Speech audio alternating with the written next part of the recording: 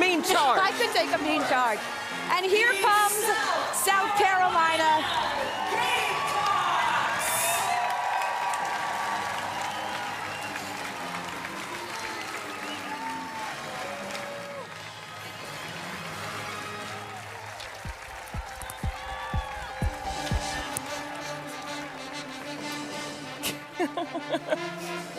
Fans, let's meet the Gamecocks at guard, a junior from Lexington, South Carolina. will have their first practice. UConn gets the second practice, so we'll have all access coverage with them as well.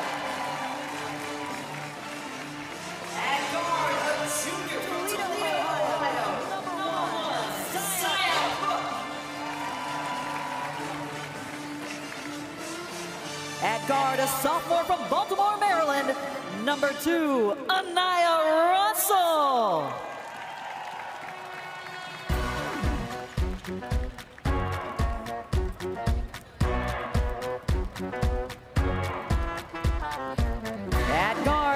Senior from Fort Myers, Florida, number three, Destanni Henderson.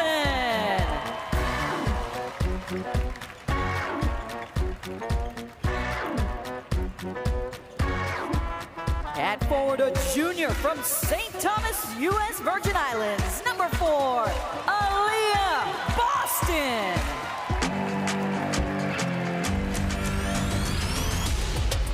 At forward, a senior from Rome, Georgia, number five, Victaria Saxton.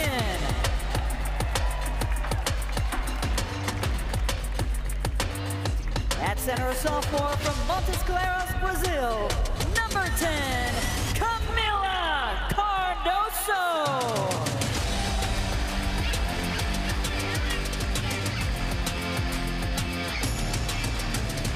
At guard, from San Diego, California, number 11, Destiny Littleton.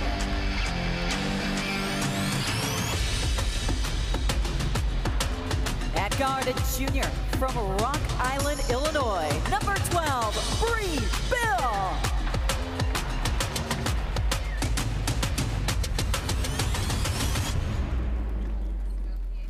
At forward, a junior Mississauga, Ontario, Canada, number 15, Laeticia Amihere.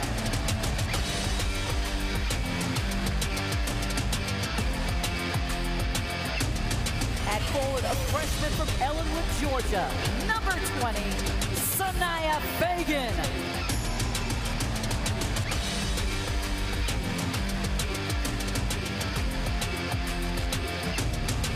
Guard, a freshman from Dayton, Ohio, number 23, Bree Hall.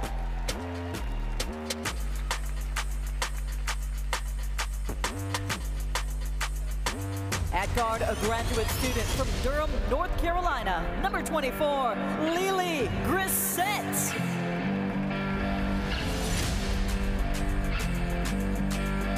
At guard, a freshman from Atlanta, Georgia, number 25, Raven Johnson.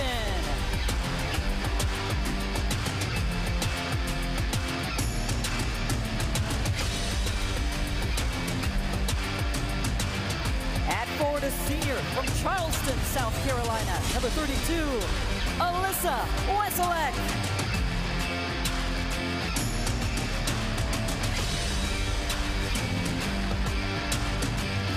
Guard, a freshman from Wilmington, North Carolina, number 44, Saniya Rivers.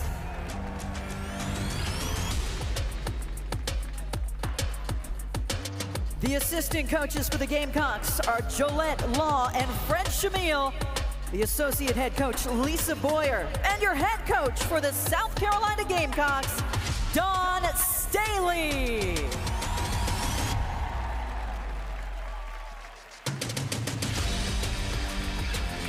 So there you go. All of the introductions have officially been made, and now you see us sitting in our rightful place, at least mine, on the desk. No one wants me on a basketball court, not even close. Um, we're so excited to be here with you guys because this is the first of its kind for the women's tournament. We have seen these all access type of practices in the ramp up to the men's championship.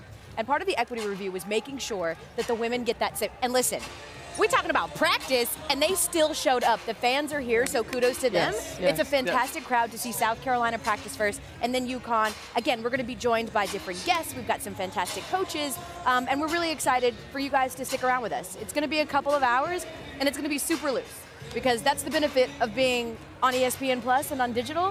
Things can get really weird. But you know what? you got the look. You got the. Wait, we're still not allowed to sing, so I'm not going to do that. Um, but I want to start by talking about this South Carolina team. A team that has been the AP number one wire to wire, right? Whenever we see this, in fact, other, what, 12 instances of seeing this, that team has gone on 11 times to win the national championship. We had questions at the beginning of the tournament about their offense, about whether they were coming in with the same amount of momentum that some of the other teams had been after losing in the SEC championship. Do you feel like the last couple of games have answered what you need to see from South Carolina? I'll start with you, coach. Absolutely, I Yeah. think that it has. And the thing that they've done really well is they've taken their defense up another level. Mm-hmm. And then offensively, they've got a good balance from their guards and their post. It's not just the Aliyah Boston show. The guards are able to attack. They're taking shots within their offense, their expected shots. And what does that do? That puts you in good position to get offensive rebounds. The other thing that South Carolina is doing is they're making players uncomfortable. Yeah. They are taking away what they um, consider their best move, and then they're forcing them to go to their counters. And that's why their defense is so effective, is for the mere fact that they scout and they're saying, look, these are the things that we have to do. We're gonna we're gonna disrupt you not only offensively with Aliyah Boston, but we're gonna also disrupt you through our defensive effort.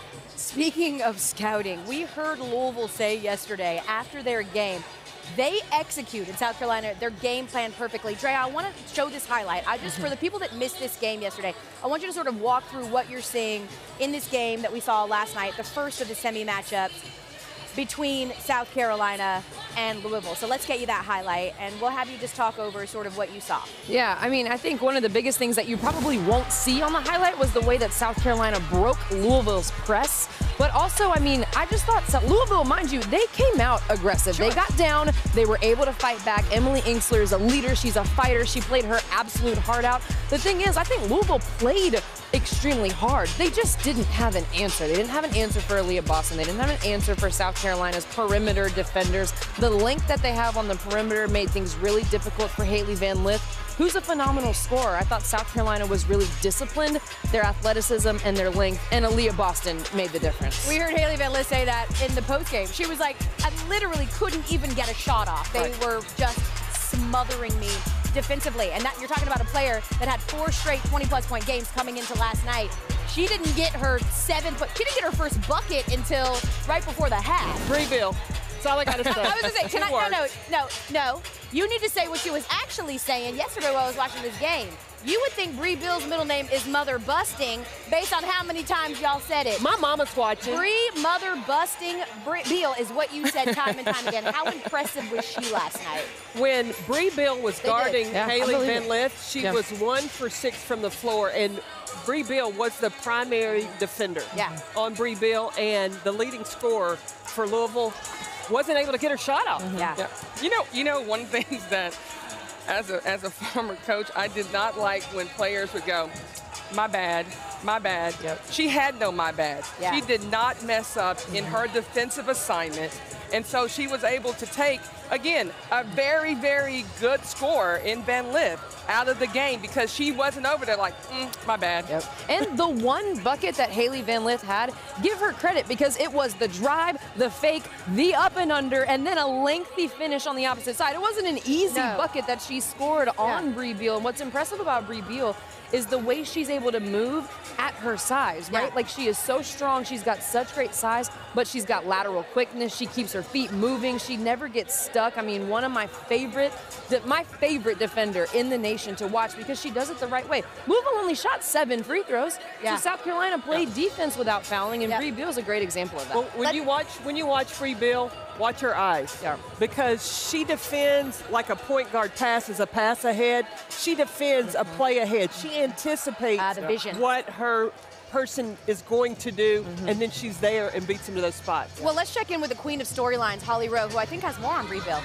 Well, you know, Brea Beal came into this South Carolina program as part of a huge recruiting class with a lot of other stars. And early in her career, Dawn Staley sat her down and watched film with her and said, I think you can be an elite defender. Brea actually told me today, I never saw that in myself. When I grew up, I was always the biggest player. I would play in the post, I would score, but I didn't see myself as an elite defender until Dawn Staley showed me that I could be one. She said, now I pride myself on watching film. When I asked her how she was able to shut down Hailey Van Lith, first we talked about the block. She's like, oh, I really did that. I set the tone early in the game, and I was proud of myself for doing that. She said, the reason I'm able to do that and make those shot blocks is because I had watched film. I could sense when Hailey's going up for her shot because I know how she moves on the court. She had seen that through her own personal film study leading up to that game. And Brea Beal has now embraced that role as a great defender. And she said, I'm proud of myself. This is a new identity for me, but I think it's one that is making our team better.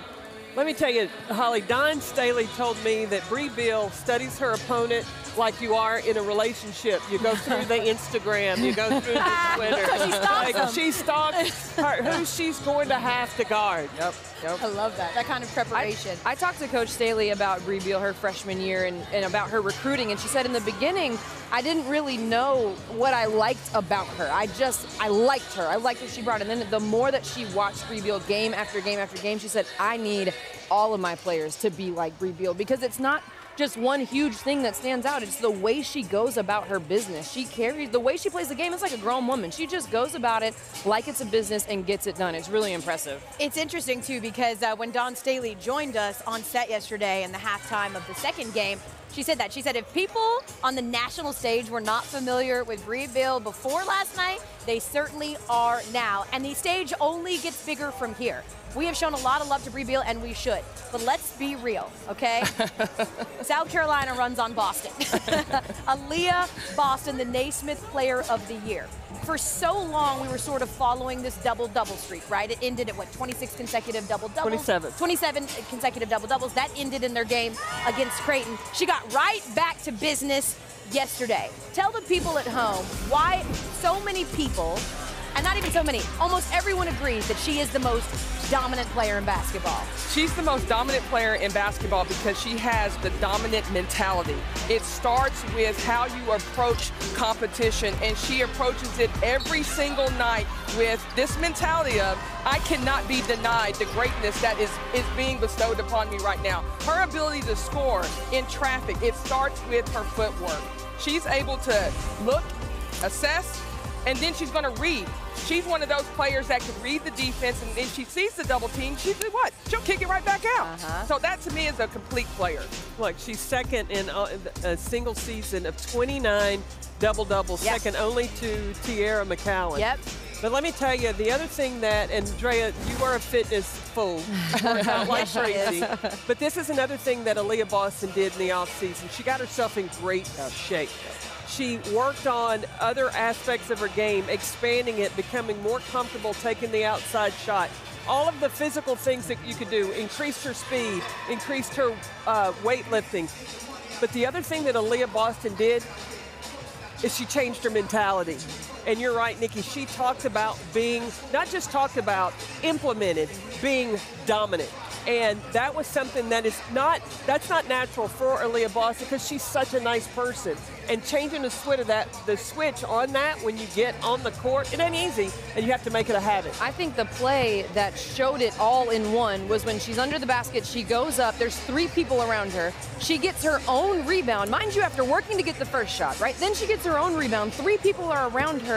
She's got the patience, and then she finds Brea Beal on the opposite side. You know how many post players would be exhausted after just getting the rebound and feeling three people around you? It's mentally tiring, it's physically tiring. Because she's got that dominant mindset and the conditioning to go with it, she can make another play. I mean, it, it all fits together to make her the player she is. It's funny, Holly, because when we uh, talked to Dawn Staley about Aaliyah a few days ago in media availability, she talked about the fact that when she sort of watched her in AAU, she was like, she obviously was not the player she is now. But the one thing I noticed about her, she never, ever stopped moving, not a single time. What you got, Holly? Well, I want to give a shout out to her coach in the Virgin Islands, Coach Bruley, and he really saw something special in her when she was a young kid. He would bring her to the court court early, and I went to the court where she grew up playing elementary school basketball. It's uneven, it's rocky, it's kind of on a hill, and and she grew up in less than ideal conditions. You know, this was not uh, your typical AAU travel ball situation until she was 12 years old. And so I think she's learned how to adapt to a lot of different situations. She was shooting the ball outside. She played outside almost all of her career. So she is adjusting her shot in the wind. Mm-hmm. She's playing in the sun. Sometimes it rained. So she's had to go through a lot of different types of basketball. It wasn't always perfect and pretty, and we see that in her game. When stuff goes wrong, she never panics. And Carolyn, I want to throw back to you with this story. You know, I was able to meet her dad's best friend, and I know you you connected with Tim Duncan with him. Um, we went to his bar where he's got all these Tim Duncan jerseys, and it's all this ode to Tim Duncan in this bar in the Virgin Islands. And we were there the day they put up Aliyah Boston's jersey right next to Tim's. But, you know, she went and worked out with him, and I know you have a lot more on what she gained from working out with another famous person from the islands. Yeah, I talked to Tim Duncan, and Tim told me that Aliyah Boston came down at his house, because, of course, he has a gym in his house. Of course. Yeah. And I said, flex. you know, when Aliyah came down there, what did she want to work on? And he said it was more organic said they first just started talking about fitness and conditioning, and then they just started like knocking around, playing on the floor, and then she let he just let her ask questions and talking about spacing and awareness, where the defense is going to come from, because that was the next level for her is understanding you are the best player in the country and you are going to attract everybody's attention. So when you get that attention, don't panic don't rush. Do the opposite. You, you, you, you literally welcome it. You do. I mean, it's really a compliment, yeah. right? Yeah. That, oh my gosh, they got a double, triple team me. And so you want that. You want to welcome it and embrace it and own it. And she owns it every single time. So that's why you never see her rattle. No. You never see her get frustrated. Right. Because she's said this is a part of the journey. This is a part of what great players. She's not good. She's great. And yes. she, and the other thing, um, I just want to add just one more point about Leah Boston. She is the most humble uh, young woman Sweet. that that I've met that has this mm-hmm. stardom. Mm-hmm. And I was looking or reading something and, and, and it talked about um, being very humble and how that to me gives her this calmness because she she lives in the world of appreciation mm-hmm. versus entitlement. Her mom and daddy.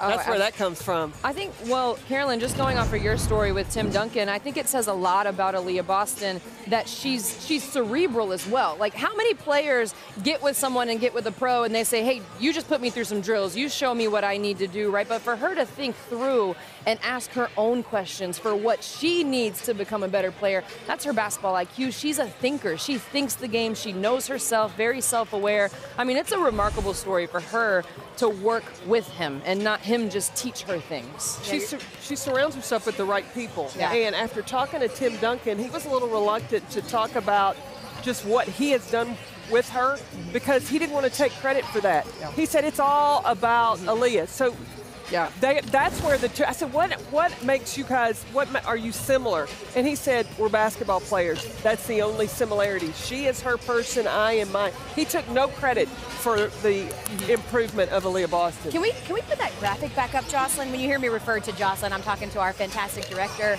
that's in the truck. That graphic we just showed of Aliyah Boston in the last three games, right? Just sort of, again, just sort of encapsulates. Yeah, it takes a second, no problem. I told you, it's loose and goose on uh, on ESPN Plus. But when you talk about how dominant he's been in these last three games, right? right. Averaging over 23 points a game, shooting almost 70% from the field, averaging over 15 rebounds per game. But here's the thing that's all well and good, and that's in the past because that's what she's done in the last three games. Now she's facing UConn and Geno Auriemma, a guy who has never lost in the national championship. Dawn Staley hasn't either, but Geno's been there 11 times, right? What does she have to do on Sunday to continue the dominance and help, help South Carolina to their second national championship? Well, I think the biggest thing that she has to do is what do what she's done all season long. Okay. She doesn't need to try to do too much. Oh, it's the national championship game. I got to like freak out and be a superstar. No. You do what you do, the composure. She brings the calmness on the floor to her team. So she just needs to continue to be dominant, demand the basketball. And really, two, go to the rim because remember, Connecticut, they got two post players right now because Dorka Juhász is out. So can can she get Connecticut's post game in foul trouble? I, I, the other thing that she did a phenomenal job of, and, and we know that she can score the basketball when the ball's given to her. but her ability, Andraya, like you mentioned, to get other players involved. She had four assists in the game yesterday, and she's a player that I'm.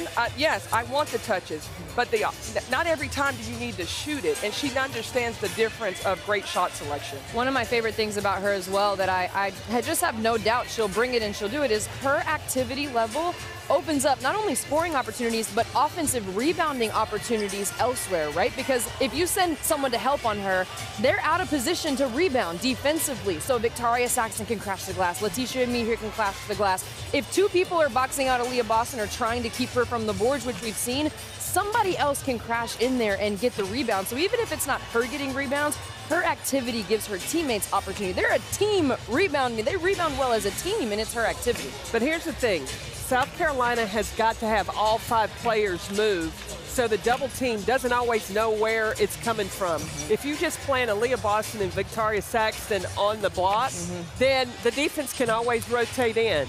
But after that, if you keep all five players moving, yep. they got to guess, and that leaves either driving lanes yep. or lanes for Aliyah Boston. This is how you know you're dominant. We actually, in our research department at ESPN, had someone go and watch every single one of Aliyah Boston's games and break down what she scores depending on her hair color. Carter and Jenny, who are fantastic researchers who literally keep us alive. Carter, what was it when she wears the pink and the, and the purple? I'm gonna give you a minute to pull it up um, because that's literally where we're at. 18 points a game and 15 rebounds a game when she is wearing purple and pink hair. So again, she said she knew that. Someone sent her that graphic and she loved it. Remember when we were talking with her in the media availability? We were like, did you know someone actually watched all of your games and broke it down by hair color? Holly, do you have more on her hair? Of so, course you, know, do. We Holly. talk a lot about her hair, and everybody right. knows that that's what she's been. For her freshman year, she came in with colorful braids, and so I always ask her why. Yeah. She's like, I just got so tired as a kid of everybody like, oh, you're tall. Do you play basketball? I just thought it would be a nice opener for another type of conversation. So now it's more like, oh, I love your colorful braids, instead of the same old question about basketball. So this is her. Um, what do you call those when it's an open greeting, when it's like the, the, the warmer, the fluffer question or whatever? Yeah. This is her way of making it uh, about more than just basketball. So I love that. This is why she does the colorful braids. Oh, that's awesome. And she had told us at game day, right, that she, so it's usually a surprise. Like she just sort of lets her hairstylist choose what color that it's going to be. Because we thought she was trolling Tennessee by wearing the orange hair when we were at game day and they were playing Tennessee. She said that wasn't the case at all. So Aliyah Boston, South Carolina, they are in the national championship for the second time. This is the matchup a lot of people expected that we would see when this tournament started. She is the player most people thought would win all of the awards, and she has. Aliyah Boston has been an absolute revelation in this tournament and all year long as we officially say hello here at the All Access practice. I'm Elle Duncan. She's Andraya Carter. She's Carolyn Peck. She is Nikki Fargas. We're so excited to be here with you today. Fantastic crowd. This is the first of its kind all access exclusivity. We're going to have UConn coming up next, but we want to talk about what we saw yesterday from South Carolina. The AP number one wire to wire team. They were streaking towards a national championship.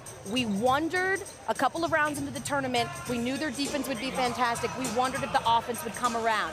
Have they alleviated any concerns based on what you've seen over the last couple of games? No, they've only gotten better. Yeah. And the one consistent factor yeah. has been Aliyah Boston. Yes. And Aliyah Boston has been able to be dominant in the paint. She has commanded the basketball, and she's gotten it in a number of different ways. She's gotten on the glass. She has posted up and scored over double teams and triple teams. But you know what else she has done? Is she has been able to involve the rest of her team the rest of her teammates? You yeah. talking about Destanni Henderson? Zia Cooke? those who was lining them up from the three-point line. I thought that Aliyah Boston found her teammates. I thought that they did a great job of knocking down shots to alleviate. But you talked about the movement, right? And you got a six-five player that's stepping out and shooting 3s mm-hmm. I'm like, whoa. Look, she's shot 68% over the last three games. Unreal. But her she's knocking down threes like the guards should be knocking them down. Say it again for the people in the back. Everything she does just looks so effortless because she puts the time in. She spends so much time working on her game. Her skill skill set is well rounded. There's not one thing she can't do. It's impressive. Aliyah led both teams in points, rebounds, and assists in that game last night against Louisville. She's just the third player since 2000 in the last 22 seasons to lead both teams in points, rebounds, and assists in a Final Four game or later. Holly, when we say dominant, we mean it. Holly? Well, guys, we talk about Aliyah Boston and how efficient she's been. She actually leads the nation in player efficiency rating. She has been so dominant on both offensive and defensive ends of the floor. The only player in the country in the top 20 of win shares for offense and defense. So what does that mean? How does that translate? She is a consensus basketball winner of every single award the Wade Trophy, the Naismith All America Trophy, the U.S. Basketball Writers Association and the AP Player of the Year. She has been one of the most dominant award winners we've ever seen in this sport with the names like Breanna Stewart, Seimone Augustus, Maya Moore. She is with the elite of the elite. And it's just really beautiful to see because she is unaffected, unbothered. She's a low ego player that is a great teammate. And she said, All I care about is winning. And she's doing it on both ends of the floor to be special for this South Carolina team. Consensus, all everything. And oh, yeah, I don't want to forget Academic All-American of the Year. And one of the most humble, right, players that we've known. We've got much more here from the All Access practice as UConn is next. With that, we send it back to Rece Davis in the Game Day crew.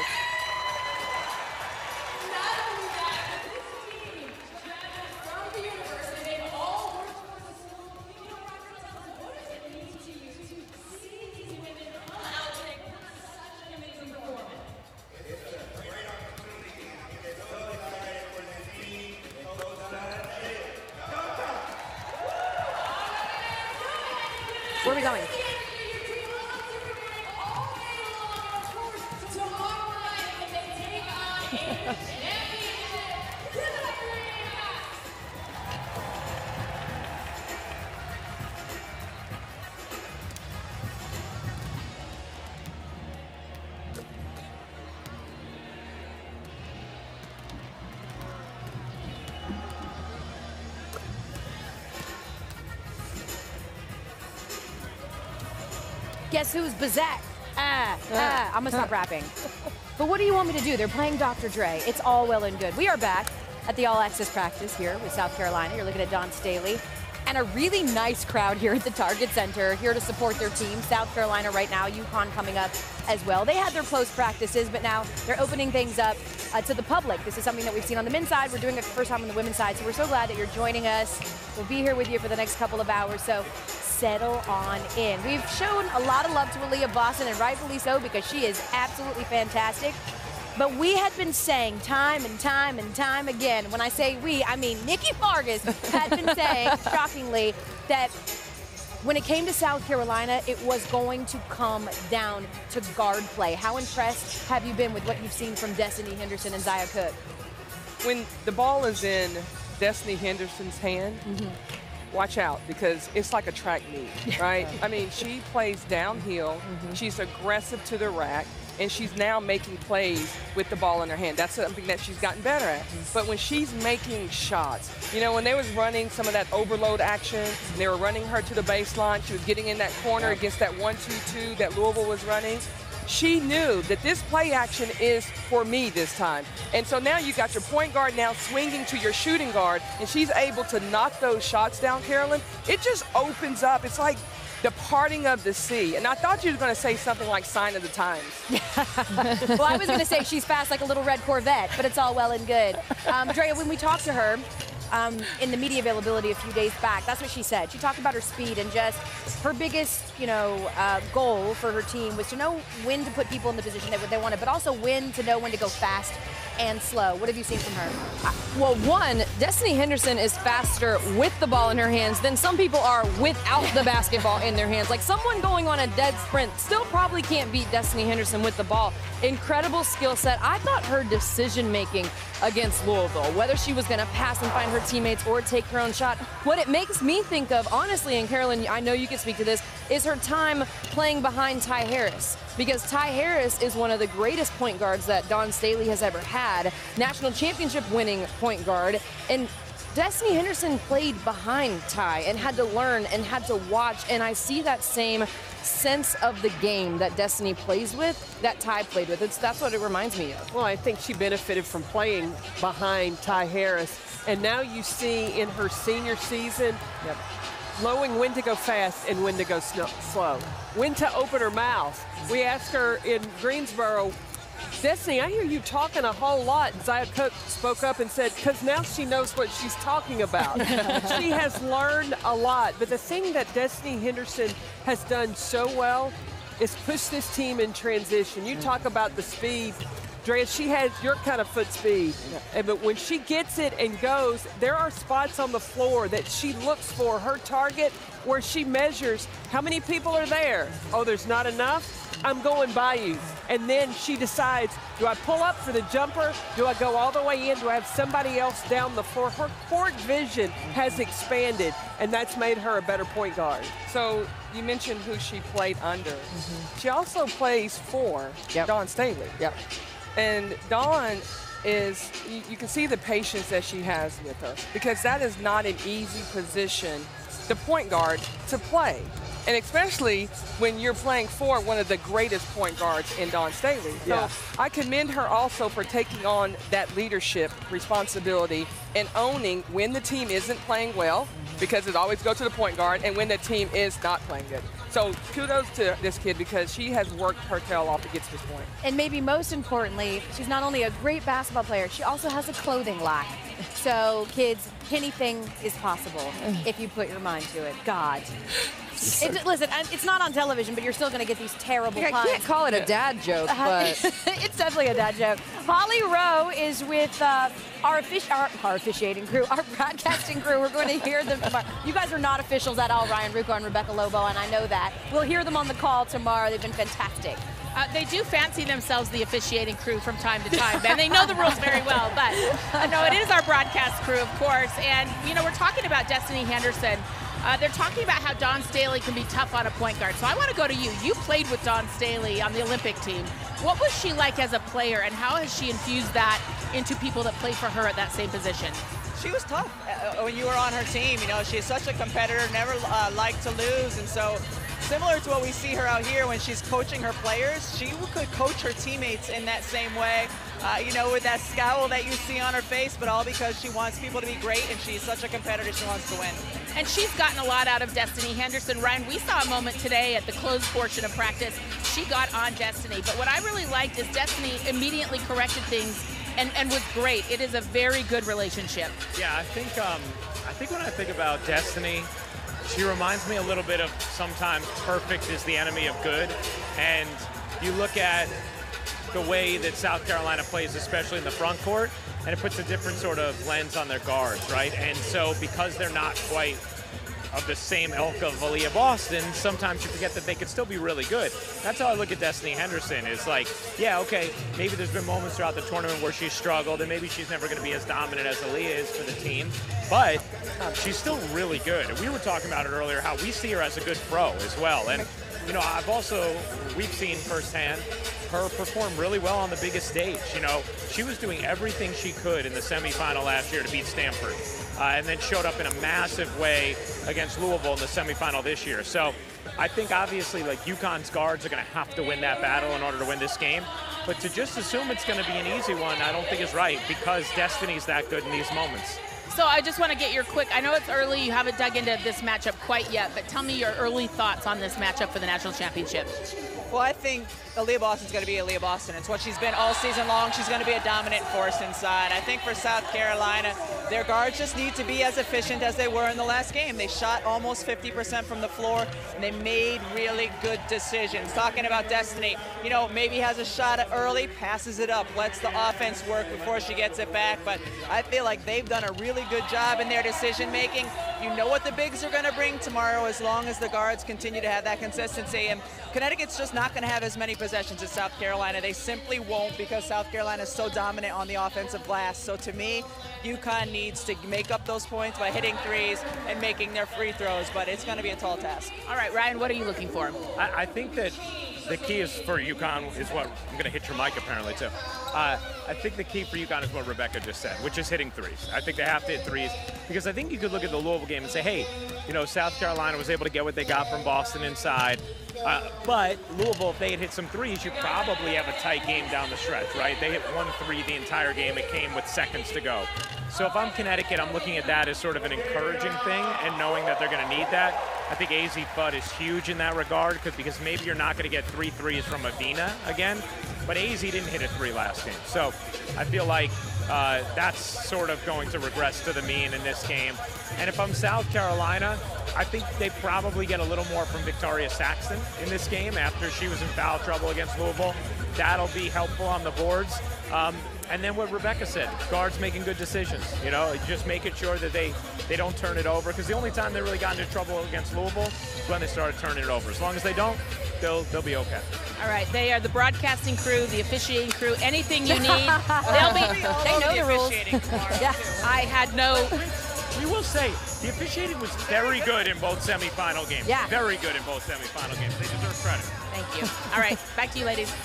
I think What Ryan, a diplomat, Ryan right? is Like, pissing to the officials. My favorite thing is Rebecca, and she's like, Dawn's intense, and she has that scowl, and then we cut to her, and Dawn's like, I'm like, we're not. Um, it's all loose now, right? She's feeling good. But We're- listen, in, in some of those practices, it's it's not loose. It's Yeah. intense. But Yeah. that, to go to talk about Dawn though, what's my favorite thing is she can be goofy with them, and then when she turns it on, they turn it on. Yeah. Like I think there has to be a balance there. Like her players know that she loves them. She can joke with them. She's on their level. But then when it's time to turn it up, she'll turn it up. Yo, I so we're sitting in that media, right? And I'm, you know, we're just asking the girls different questions and stuff, and I'm like, who's the one that brings like the levity to the group? Like, who's the one that in serious moments makes everybody laugh? And they all just deadpan were like, we don't laugh. Like in Dawn- serious moments, Seri- yeah, Dawn nobody's said laughing. this is the most serious team that she has ever coached. Talking about talking about seriously being good. Um, we had been talking about the guard play, yes, but specifically Zia Cooke. And I'm going to pat myself on the back because why not? I'm wrong all the time. But Zia had a fantastic tournament last year, right? And we were sort of waiting on her to have her coming out moment. It feels like we got that last night against Louisville. She was fantastic. She was, but I think all season long, when you have you finish the season with a fantastic tournament, you expect the same the next time coming in. And when you aren't getting those same mm-hmm. results, you start pressing or you start doubting yourself. Zia Cooke got here to Minneapolis. Really, it happened in Greensboro, and she settled in. Yeah. And she said, you know what? It all doesn't rest on my shoulders. You have a great team around you. You have a lot of talent. And she realizes she doesn't have to make spectacular plays. She just has to make the right plays, and that's what she did yesterday. I'm going to go old school because people forget about the mid-range game. And she, to me, Zia Cooke is one of the best at the mid-range game. Sometimes what happens as a guard, and I shot a lot of threes, but you fall in love with But the three ball. too. Yeah, I was gonna lock some people up now. But you, you fall, yes, you fall in love with the three ball, and I think when Zia Cooke is at her best is when she's showing how she can score multiple ways there. Well, my favorite play of the game against Louisville was when she went around the screen at the block and just kissed it off the glass, right? Looking for different ways to score. Not set that was that was right Yeah, there. That it. was it. There it is. Wow, it's like we're in sync here. I don't know. Was that Jocelyn who did that? Simpatico. Beautiful. But that was my favorite play of the game because just looking to score in different ways, looking to get easy bucket. She was four of eight from the field. Great shots, great decision making from Zia Cooke, and it should look easy for her. That's how easy the game should come to her when she's not pressing. When I talked to her at the beginning of the season, she said, I just want it so bad. Yeah. I just want it so bad. And she said it's hard to balance trying to be a killer because coach wants her to be a killer, right? Right. While also being loose and being comfortable. It's a tight line to walk. I can't even imagine, right? But I think it's difficult, but she has found it. She has found that killer, but also that balance where it's easy. Well, she has found a way to let the offense come to her. So she's a rhythm shooter. So when the ball goes pass, pass, and then comes to her, that's the best shot for Zia Cooke to knock it down. Then when she hits a couple of those, watch out. Yes. Because she, hey, she might get a Sports Center highlight. Yep, yep. That's going to be on Sports Center. It, you know what? By the way, I work on Sports Center, so let me just give you a little cheat. If you run across or at a game with a fantastic play and you tweet at us, this should be on SportsCenter. There's a good chance it might end up on SportsCenter in our top 10. I'm just saying, there's a little cheat code for you. I don't cut the video, but it is what it is. Zia told us she just needs to do the little things, right? She doesn't want to take possessions off. She wants to make her layups. She wants to be a good teammate. She wants to lock down defensively. Again, coming off of what was a, a tough tournament, right, on the stat sheet for her.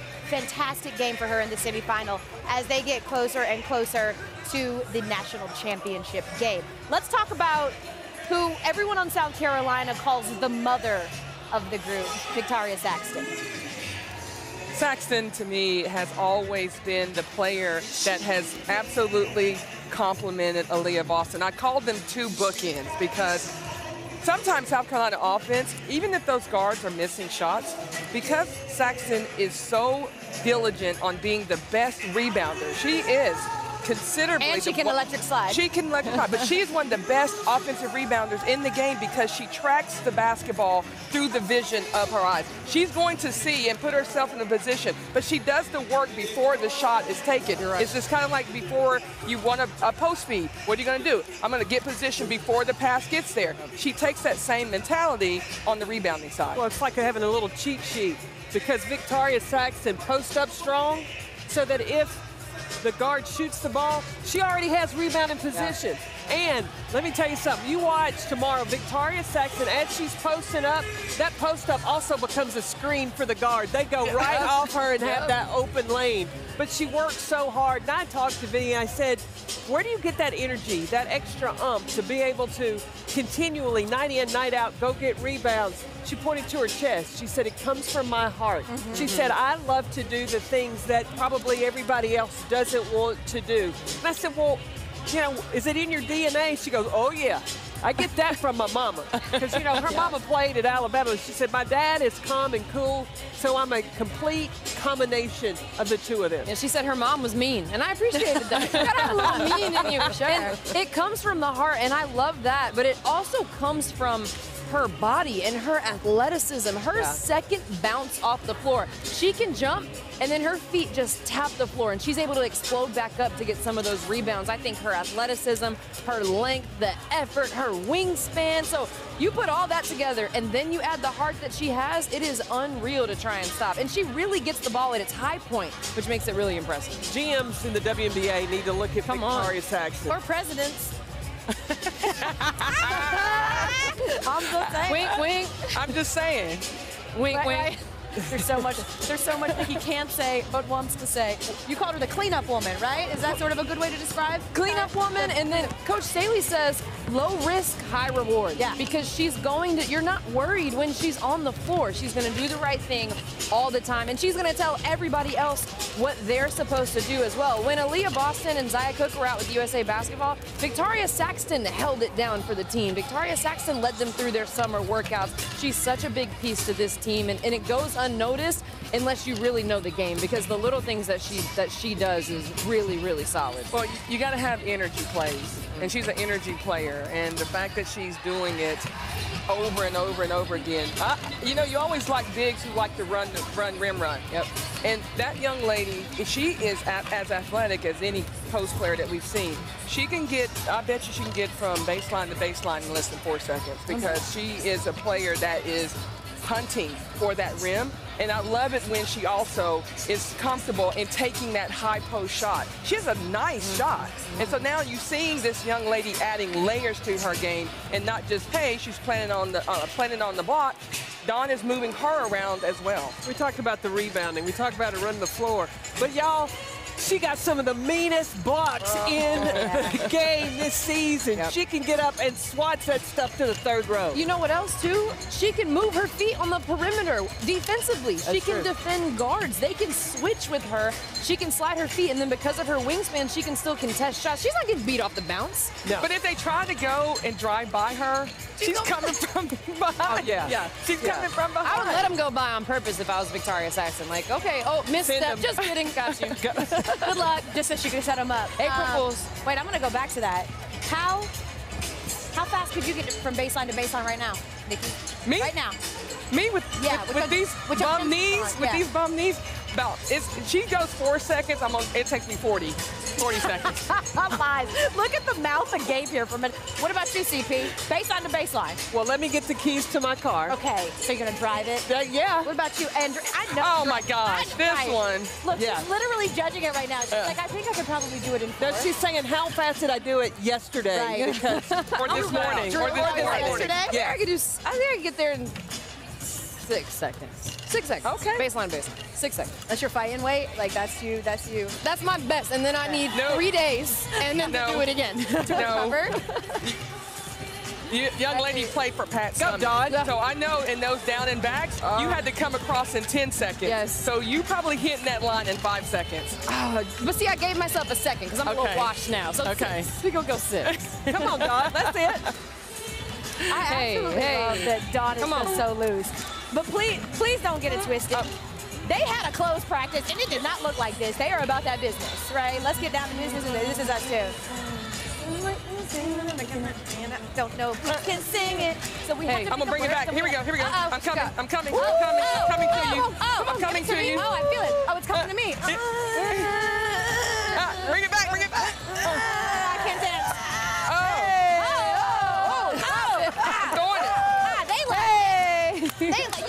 the crowd. They're loving it. they think that we are fantastic dancers. Um, As South long as I'm sitting down. So let's so, so let's talk let's talk about this sort of the house that Dawn Staley built. It's interesting because we've been having these conversations about obviously how she turned around the South Carolina program. But I've heard a couple of people, not not anyone on this on this desk, but I've heard people say, you know, I think Dawn still needs another championship to sort of solidify herself amongst those programs that are consistently at the top. After winning in 2017, what do you think it would do for her already established legacy to secure this championship tomorrow night? I think that it helps her get her face on the Mount Rushmore of women's basketball. Yeah. In order to get there, you have to have multiple championships. Yeah. I was the first African American woman to win it, but I only won one, and I got out. I went to the pros. Dawn has already won one. For her to do it again and to have two, I, then you have to. It solidifies her place in history forever. It's kind of like when you, you win one, you want more. You, you want another one and another one and another one. And the culture that she's building is that when you come and play for South Carolina and you put that jersey on, you are playing for championships here. It's, it's yes, it's great to get to the Final Four, but as you know as a competitor, you want to win it all because that's something that no one can ever take away from you that at that moment you were the best team in the country.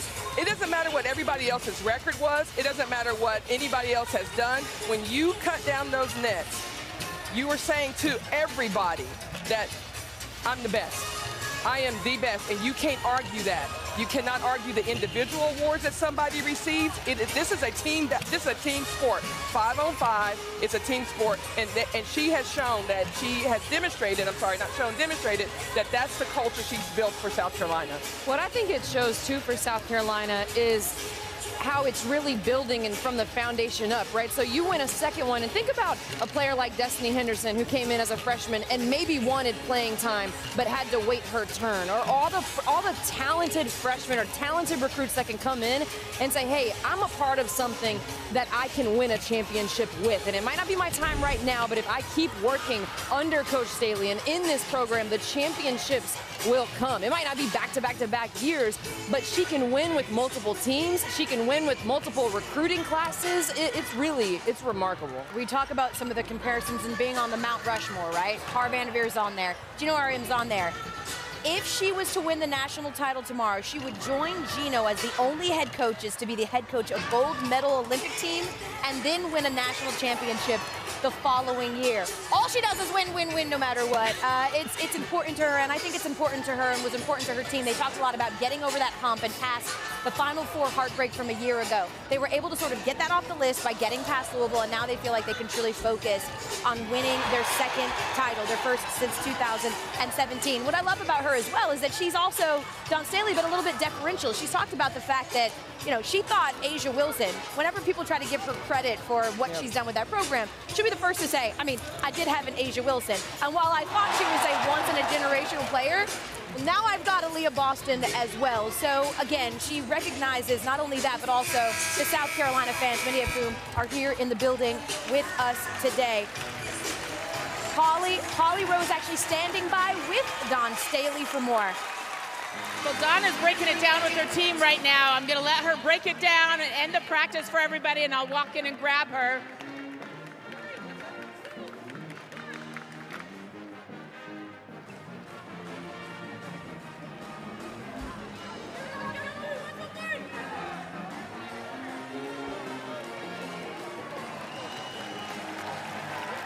Coach Staley, you're breaking it down. You almost hit that half-court shot right there. You've got a pretty good arm on you still. Oh, I, I got a lot of practice at it. I work at it every day. Every single day. You know, you guys break the huddle right there, and, and the thing that you say is together. How has this group reconnected after your last loss and really gone on a beautiful run? See, the, the, the strange thing is when you take a loss in a game, you, you tend to question everything about you. What we did was we just worked on we just we just talked about what we are good at. And we're not gonna forget about that. We're a very good basketball team that had a bad quarter. We paid for it, but now we find ourselves in a national championship game. You know, you have been such a great player. You've coached at every level. You are an Olympian, a gold medal winning coach as well, and here you are on the brink of a second national championship. What is it about you that you're appreciative of that you think makes you great inside for these moments? Um, I, I really love the game of basketball. Like every every fabric of me loves everything about our game, and and the game has been a, a tremendous gift to me. That is the overflow is incredible. That um, I'm going to use my last times coaching this game, loving up on our players, and being a dream merchant for our players. I love the phrase you use, a dream merchant. And for all those fans in here right now, so many little kids, young women, young little boys, um, what is a dream merchant and what is the great responsibility you bear as the coach of this team? A dream merchant is someone that's just dedicated to helping others follow their dream, see their dreams, check off their dreams. And that means that there's good times, there's bad times, there are ugly times, but it's consistent with helping them achieve their, their dreams. So um, my players, I know that I get on their absolute last nerve, um, but at the end of the day, look where we are. We're standing here on center court, being one of two teams left, playing on the last day of college women's basketball, and this is what it's all about. It's such a beautiful thing, and I know these fans are all excited to be here and watch your players. Let's talk a little bit of ball before I let you go. You played UConn earlier this season. It was in November, it was early. But what were some takeaways from the game that you can build on and you can adapt? What we, we took away from it is um, um, I, I, think that was the start of us playing the type of defense that we need to play, and it catapulted us into being a, a, a really great defensive basketball team. We also take the fact that we, we found ourselves down 8 to 20 and fought our way back, and we just leaned heavily on our ability to defend. Um, such a good, potent offensive basketball team that hopefully we'll, we'll continue that trend and, uh, and, and be here hoisting the trophy um, about 36 hours from now, right? You know, usually in moments like this, it takes a special player, somebody elite to do something special. You have one on your roster. I'm calling her consensus all everything. Aliyah Boston won every major award and she deserves it. What does she have to be for you to win a championship? We, we always speak about habits. Aliyah Boston just has to be uh, showcase the habits that she created all season long, and that is her being her dominant self and, and everybody else they just got to do what they've done. We can't change who we are. Um, now that we're here at the national championship game, we just got to we got to focus in and be who we have been all season long, and let the chips fall where they may. All right, last thing before I let you go, I see so many young faces. I see teams here with their coaches. Um, what do you have to say to young people who want to succeed at this level as a college basketball player? What, what is it that you're looking for and their parents need to be focusing on with them? Strangely enough, I think everybody probably in America, yes, young, has a trainer, okay? You got to get your trainer to work on the fundamentals. I think sometimes we skip steps and we want to do step backs and we want to do, you know, handle the ball. Ball handling is the single most important thing in basketball. If you're able to handle the ball, you'll be a better passer, You'll be a, be a better ball handler. You'll be a better shooter because everything's directly related to your ability to handle the ball. Spoken like a true Hall of Fame point guard. We thank you, Dawn Staley. Thank you for being so special. One in a million, Dawn Staley.